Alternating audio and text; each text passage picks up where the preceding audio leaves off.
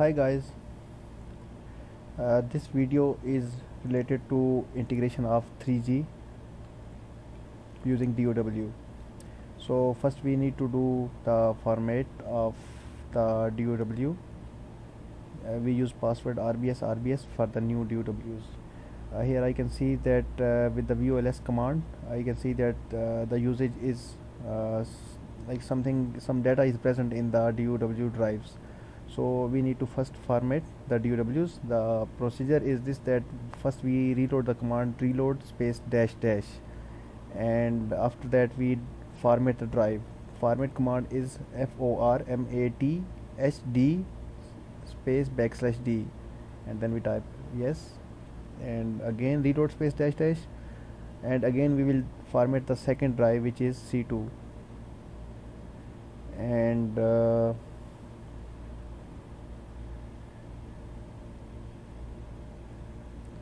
here we go as we see.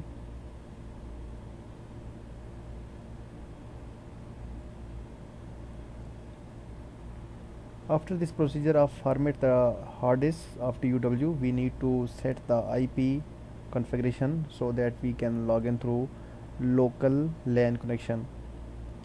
The IP is 169.254.1.2 for our PC and .1.1 for the DUW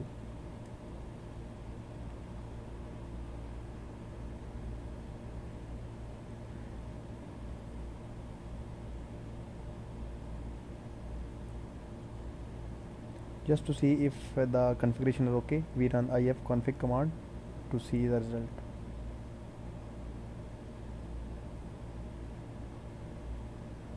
Now we will connect the connect through FTP to DW to transfer the basic package.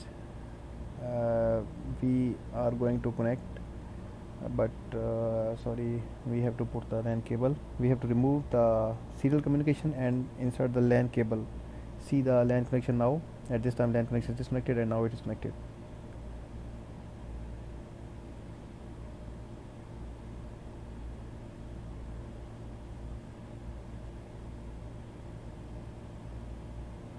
So I suspect we have to change the IP also. Okay yes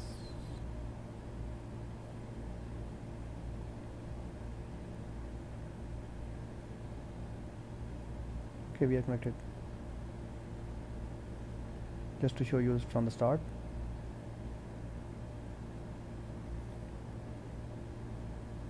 We will type the IP of the DUW hit OK. Password is RBS uh, we will open the C drive first and uh, on this is our laptop side. We need to open our basic package wherever it is uh, located uh, since we don't have R2G07 basic package so we are using uh, basic package from another site which is having similar software package. The software package we are working with is R2GA07 so we need to move all the data within C drive to the DOWC drive. Like from one drive we have to move all the data to the DUW same drive uh, to save time we will make two parallel connections. Uh, with one connection we will try uh, we will shift the data of C drive and with the other connection we will shift the data of D drive. See uh, we connected the, sec the second total commander software and open the D and copy all select all and shift to the left side. Left side is DUW right side is my computer. So we have to wait for some time to uh, so that this process finishes I fast forward the uh, I will fast forward this uh, video so that it can complete fast and we can do the rest of the process also quickly. It will save time uh, for us also.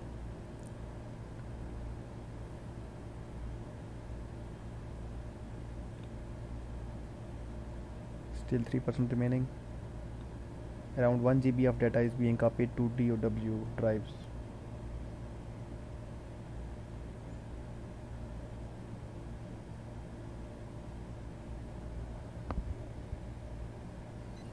after this step uh, we shifted all the data which is uh, already configured for site ZRY763 like HRY763 so what we will do we will use the CV backup file which NOC or back office provided us. We will use the data which is uh, contained in the CV file and uh, put it in the DUW and because since software is same only this uh, configuration data will be changed. So uh, DUW will be restarted on our configuration file and uh, site will become whatever was the CV so see how we are going to do this. We will find out the D drive and on right side we will find the location of the CV in our computer and on left side we will open the same place where this D drive is located uh, where this uh, CV is located.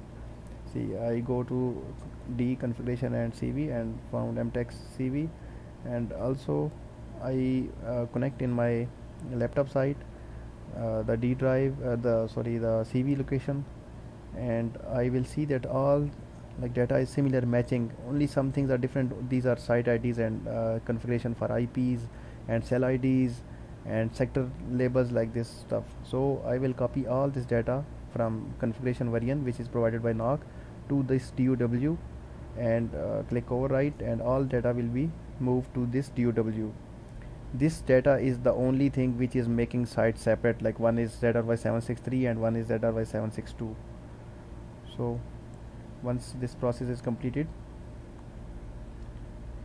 uh, we will uh, reload the site once reload command is supposed to be uh, put in the serial communication in the COM4 um, COM4 port.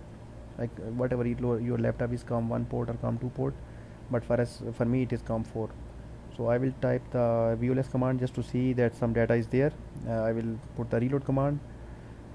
Uh, there is one thing which I see now that uh, the the startable CV is a different one.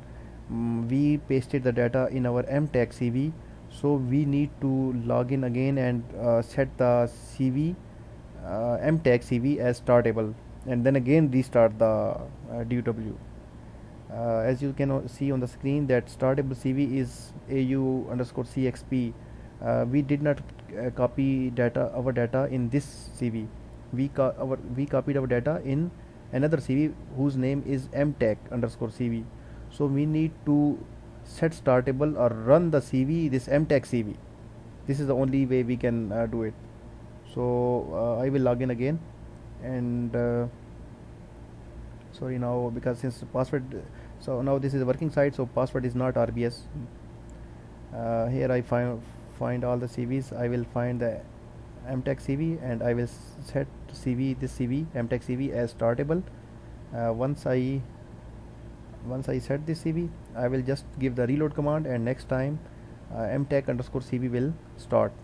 And mtech cv has all the data for this site the site which we are integrating.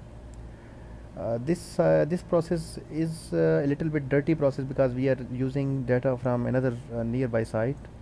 Uh, just we are matching that like it is also working on RRUs or RUS we can use this data from any other similar site the the configuration variant variant or what is called CV contains all the information of the site like it can it contains the cell IDs CV uh, cell IDs IP addresses gateways O&M details and traffic IP addresses everything up to the EC port information is contained in this CV. So when we restore the CV in any DUW, this DUW becomes th this CV site, whatever uh, this CV was. We get this CV from our back office or from our uh, network operations center, whatever is available on your side. This process is uh, normally for uh, MS Teams uh, to make the integration of uh, sites which are down. This process is not to be used for the sites which are new now being integrated like new integration. This process is not for the new integration. This process is only for the reintegration of existing sites which are down due to some reason and this process is also only it can be used if sites go down once it was up and backup was taken by OSS or any other servers. The next thing now we can log in into the uh, into this MO shell and we can see that uh, our site ID is there. Uh, we will run the ALT command just to to see that uh, there are license and lot of other alarms uh, since here uh, we have not connected any RUs CPRI cables are not connected so it will not give us any cells status. Yet anyways just to see that now we have only alarms for the license.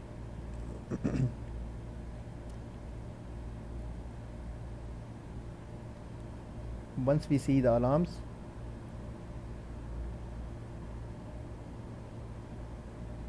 which is only gigabit uh, I don't know why the other cell maybe it will take some time.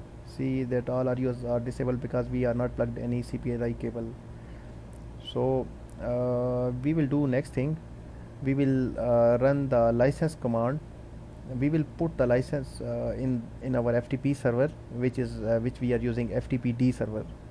Uh, the same server which we also use for the baseband integration how we will use uh, this uh, license files which are provided by NOC to us like back office provided some license files. Two files are contained in this in this license. We will copy these files and move these files to our uh, this folder in which is supposed to be configured in FTPD I will show you how. In the FTPD uh, we have uh, we will start the FTPD and uh, we will also uh, like uh, I will show you that uh, that these folders are configured. Anyway we will first do this license up license loading step. First command is acl space 7 and next next command is acc space 7 space update license key file.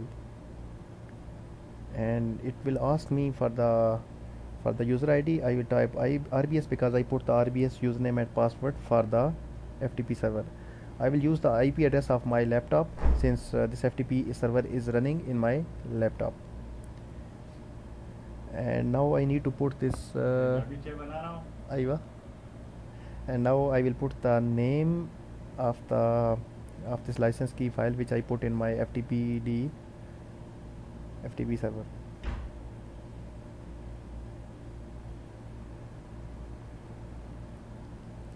So to just to say uh, avoid any spelling mistake I will copy paste the name .xml must be present. I will put enter and uh, uh, just to see in parallel that uh, there will be login into this FTP server. Uh, since uh, this license is loaded properly. The all alarms are related to the EC port disconnected and gigabit ethernet like uh, transmission cable is removed and no any uh, CPRI cables are installed. These are all the alarms which I am having. So process of integration of uh, of 3G site uh, using DW is complete. Uh, this is procedure to be used for the reintegration of the sites uh, not for the fresh integrations. This so it is to be used by the by the MS managed services team maintenance teams. Thank you very much for uh, viewing for watching. Thank you very much